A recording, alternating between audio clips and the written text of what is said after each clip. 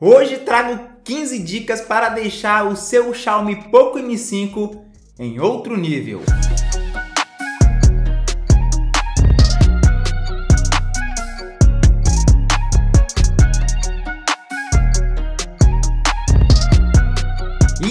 Galera, até aqui eu me chamo Darlos e sejam bem-vindos a mais um vídeo aqui do canal. Pois bem, pessoal, olha só, né, eu já falei no começo do vídeo que eu vou trazer 15 dicas para você usar no seu Xiaomi Poco M5. Tenho certeza que vocês vão gostar desse vídeo e faz o seguinte, quando você estiver em uma dica que você achar muito interessante, tira o print aí do nosso vídeo aqui, tá bom? E aí compartilha lá no teu Instagram que eu reposto vocês, tá bom? Então, vamos lá para as dicas de hoje. Calma, calma, calma. Olha, pessoal, vale lembrar para vocês que aqui na descrição tem o link do nosso canal de ofertas lá no Telegram. Lá a gente compartilha várias promoções e ofertas das lojas que a gente é parceiro. Então, se você quer acompanhar os melhores preços de produtos tech, aqui o link do nosso grupo de ofertas na descrição. E a primeira dica para o Xiaomi Poco M5 é a seguinte, pessoal. Olha, você estando em qualquer tela, você consegue tirar um print facilmente deslizando as, os três dedos assim na tela para baixo. E aqui você vai ter a captura e ainda tem no caso é, aqui a opção de estender, ou seja, você pode tirar um print longo, por exemplo, de uma conversa do WhatsApp ou por aí vai, tá bom? A segunda dica é que você pode também tirar um print parcial. Como assim, Darlos? Olha, você vai clicar na tela agora com os três dedos, mas você não vai deslizar, porque se você deslizar, você vai tirar um print comum, como eu já mostrei aqui, tá bom? Então, que, que você vai fazer? Você vai clicar e segurar na tela. Então assim ele vai te dar a opção para você tirar um print parcial. Ou seja, você pode tirar um print parcial retangular nesse formato ou circular, tá bom? Então com essa ideia já, você pode selecionar a parte que você quer tirar o print sem a necessidade de depois e ter que cortar, né, ir na galeria, cortar e deixar do jeito que você quiser, tá bom? Então tá dessa forma aqui. Posso também habilitar a opção circular, tá? Então se eu quisesse selecionar só esse aplicativo aqui, eu também consigo. Então eu ainda consigo editar aqui esse print, né? Olha só, tirei aquele print, posso editar, fazer aqui, depois salvar, tá? Então é assim que você tira print parcial no Poco M5. A terceira dica é relacionado ao aplicativo de câmera. Isso mesmo, pessoal. Olha, vou tirar uma foto para você Olha só, vou visualizar foto e aqui não tem nenhuma marca d'água. Se você quiser, você pode sim adicionar uma marca d'água aqui, tá bom? Então, olha só, venha aqui nos três tracinhos, vamos lá até configurações. Aqui agora, olha só, configurações. Aqui agora na primeira opção é a opção de marca d'água. Então você vai habilitar marca d'água e você ainda pode personalizar. Olha que bacana, pessoal coloquei meu nome, salvei e agora quando eu tirar uma foto, né? Vou tirar a foto aqui do Kakashi, olha. Então agora quando salva, já, já salva, né? Com aqui a minha marca d'água, olha só. Xiaomi Poco M5 no caso, e barra Darlos, né? Então é assim que você habilita marca d'água nas suas fotos aí tiradas pelo Xiaomi Poco M5. A quarta dica é uma função sensacional que fica aqui no sensor aqui, né, no botão liga desliga do Xiaomi Poco M5. Eu vou aqui pedir aqui para desligar a luz. Alexa, desligar a tomada. Tudo bem. Então, pessoal, olha só o que acontece dois toques no sensor, ele vai ligar, no caso, a lanterna. Não é preciso clicar no botão, é só tocar porque é um sensor, tá bom? Então, dois toques vai ligar a lanterna. Dois toques desliga a lanterna, tá bom? Então, essa dica é sensacional. Alexa, ligar a tomada. Então, pessoal, se você fez esse procedimento, esse gesto aqui e não ligou a lanterna, então você vai até configurações você vai até configurações adicionais, olha só, vamos procurar aqui, configurações adicionais.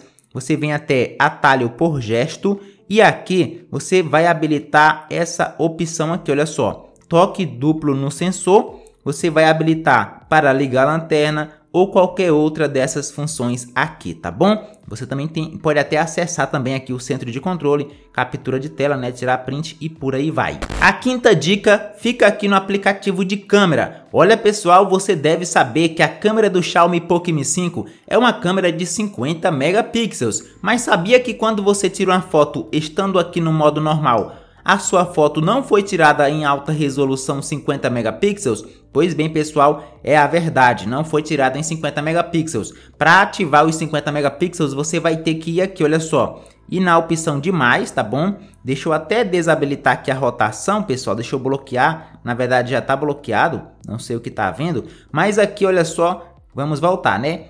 Abriu o aplicativo de câmera, vai na guia mais, vai ter a opção de 50 megapixels. Você pode até habilitar essa opção bem aqui de ícones, tá bom? Então assim fica mais fácil. Aqui você tem 50 megapixels e olha só, 50 megapixels Ultra HD ativado. Bem aqui aparece o logo, olha só, 50 megapixels aqui embaixo. Então quando você tira uma foto agora, Agora sim, sua foto foi tirada em alta qualidade, tá? Então, para tirar fotos em 50 megapixels, você tem que fazer essa, esse procedimento aqui, tá bom? Então, agora, realmente, a foto foi tirada com muito mais qualidade. A sexta dica pessoal, na verdade, é um atalho para você abrir o aplicativo de câmera. Olha só, vem aqui nas configurações, tela de bloqueio, suba até a última opção quase, né? Aqui em iniciar a câmera, você habilita e, por exemplo, quando você está com a tela desligada, você dá dois cliques no volume menos que vai abrir a câmera, né?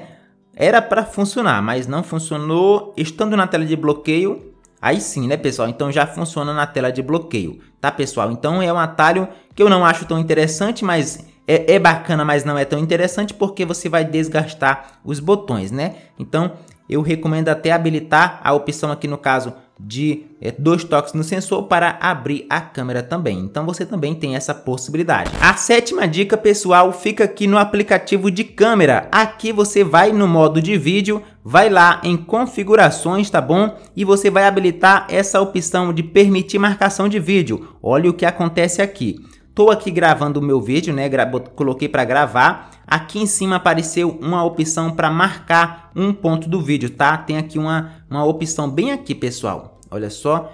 Então, quando eu vim para cá, né? Vamos supor que eu quis marcar esse ponto para depois eu voltar facilmente. Cliquei lá, ele marcou aqui no caso, né? Então, voltei, Vou parar minha gravação, então essa opção é importante para você marcar pontos importantes na sua gravação para você depois identificar qual foi a parte, né, ali no, o tempo certo que você é, marcou aquele ponto, tá? Então fica mais fácil de você encontrar alguma coisa especial ou importante durante a gravação do teu vídeo. Então, para visualizar depois onde você marcou, né, estando visualizando o vídeo, ele vai aparecer aqui, olha só, a marcação. Quando você clica, ele mostra o ícone lá embaixo. Quando você clica no ícone aqui, ele vai mostrar o ponto certinho que você fez a marcação, tá bom? A oitava dica pessoal fica em configurações. Você vai até a opção de tela e aqui você vai ter a opção de taxa de atualização. Aqui, pessoal, você tem a opção de 90 Hz. Se você quiser deixar com a taxa de atualização mais alta, ativa 90 Hz que você vai ter aí no caso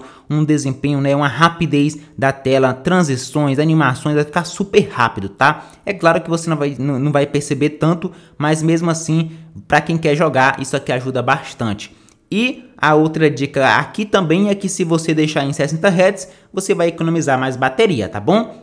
Tem aqui maior é, suavidade e maior economia de bateria. A nona dica fica aqui né, nas configurações, tela de bloqueio e aqui você tem essa opção. Toque duas vezes para ligar ou desligar a tela com o dispositivo bloqueado. É isso que acontece, pessoal. Vamos lá, bloqueei aqui o meu celular, né, o Poco M5. Então, com dois toques na tela, ele vai ligar a tela. Dois toques na tela, ele vai desligar a tela, tá? Então, essa é a função bem interessante para você que quer visualizar informações na tela de bloqueio. A décima dica pessoal é relacionado à tela de bloqueio. Você deve ter percebido aqui, né, já na nona dica, que aqui tá aparecendo uns planos de fundos diferenciados. Toda vez que bloqueia e liga a tela, ele vai aparecer isso aqui. É um carrossel de plano de fundo. Na verdade, esse é o nome da função do aplicativo que já vem aqui instalado. Eu mesmo não gosto disso e vou mostrar para vocês como é que desativa isso aqui, tá bom? Então, vai lá é, em configurações, olha só. Aqui vai até tela de bloqueio e aqui a gente vai, olha só, carrossel de plano de fundo. Você vai desativar isso aqui, tá bom? Desativa. Aqui você é, clica em não obrigado, tá bom?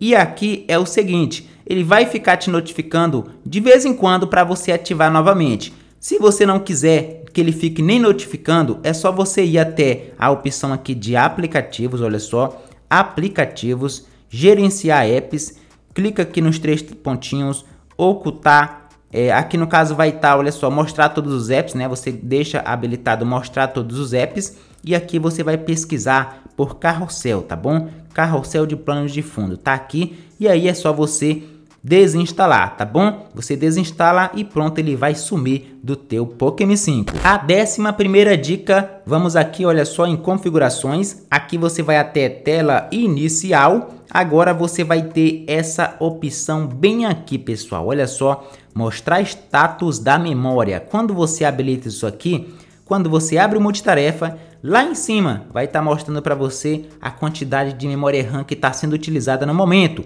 Olha só, no momento está sendo utilizado 2.5 GB, né? De 6, né? Que ainda tem os mais os 2 GB disponíveis ali, que no caso é a memória RAM é, virtual, né? Ali no caso a RAM Plus. A décima segunda dica fica aqui também em configurações. Você vai até aplicativos, olha só aplicativos e aqui você tem a possibilidade de duplicar um aplicativo, né? Dual apps, você pode duplicar, no caso, o seu WhatsApp, Instagram, Facebook e por aí vai, tá pessoal? É só você clicar, por exemplo, se eu quisesse aqui duplicar o Twitter, era só marcar essa opção, ele já ia criar o Dual apps dele, tá? Então, já criou, já vai estar tá lá dois Twitters, né? Vamos ver aqui, vamos mostrar para você aqui que realmente foi criado. Tá aqui, olha só, o Twitter original e o outro clonado, né? Já fiz isso também com o WhatsApp e com também o Instagram, tá bom? Então você consegue duplicar aplicativos aqui nativamente sem a necessidade de baixar outros aplicativos. A décima terceira dica é relacionada aos botões virtuais. Você que não gosta disso aqui e quer ativar a navegação do iPhone no seu Xiaomi Pokémon 5, é só você ir até configurações, vai agora até a opção de configurações adicionais Aqui você vai até tela infinita e pronto, habilita essa opção aqui. Então você clica em agora não, já vai aparecer a barrinha. E agora para navegar é só você puxar e segurar para cima, olha só, puxar e segurar para cima vai abrir o multitarefa, puxou rapidamente vai para a tela inicial. E para voltar, pessoal, por exemplo, para voltar é só assim, olha só, puxou nas laterais, vai funcionar como um botão voltar, tá bom? Tanto de um lado como do outro. Para desativar é só voltar lá e aí você ativa os botões novamente, tá bom? A 14 quarta dica fica aqui pessoal em configurações, aí você vai procurar por recursos especiais, olha só, recursos especiais, aí aqui tem a opção de caixa de ferramenta de vídeo, você ativa ela, tá? Ativa Aqui você pode deixar aqui, olha só, atalho da caixa de ferramenta de vídeo, você habilita o atalho. Você vai aqui em gerenciar apps e você vai marcar os apps que você quer que funcione essa opção. Por exemplo, aqui marquei já a galeria e o YouTube, tá bom? Então eu vou lá no meu YouTube, só para você ter noção de como é que funciona essa, essa dica. Vou no meu YouTube, vou procurar um vídeo aqui. Então, pessoal, estando em um vídeo aqui no YouTube, olha só, estou no meu vídeo aqui, você vai notar que apareceu uma barrinha bem aqui do lado. Deixa eu ver se eu consigo mostrar melhor para você. Olha só, bem aqui tem uma barrinha. Quando eu puxo essa barrinha, olha só, ele vai me dar algumas opções. Eu posso gravar a tela, fazer a captura da tela, eu posso transmitir para uma TV, mas a função mais importante é isso aqui, olha só, reproduzir é, som do vídeo com a tela desligada, tá? Então, por exemplo, estou é, aqui com volume máximo, olha só, e aqui quando eu habilito aquela opção de é, ouvir com a tela desligada, né, ele vai desligar a tela e o vídeo está rodando. Então essa é uma função super interessante, tá pessoal? Interessantíssima. Então já ativa aí que eu tenho certeza que vocês vão gostar dessa função. A nossa última dica pessoal fica em configurações, aí você vai até a opção aqui de localização. Olha só, localização, serviços de localização, procura por Wi-Fi, você vai desativar, eu já fiz isso aqui, já desativei. Busca por Bluetooth, você também vai desativar Tá, eu já desativei também. E isso vai fazer o que, Darlos? Isso vai economizar bateria, pessoal. Isso vai economizar, sim, muita bateria aí do seu Xiaomi, tá? Do seu Xiaomi Poco M5. Pessoal, então essas foram as dicas. E olha só, a dica que eu mais gostei foi essa daqui, olha só. Dois toques no sensor, liga e desliga a lanterna, né? Então esses dois toques no sensor é sensacional, é um gesto super interessante. E você, qual função, qual dica você mais gostou? Comenta aqui que eu quero muito ver a opinião de vocês, os comentários de vocês, tá bom? Então, pessoal, é isso. Se você gostou do vídeo, não esquece de, de antes né, de sair do vídeo, de deixar o like, de se inscrever aqui no canal e de ativar o sininho de notificação. Nós estamos juntos até, né? Eu sempre falo, né? Um forte abraço e até o próximo vídeo.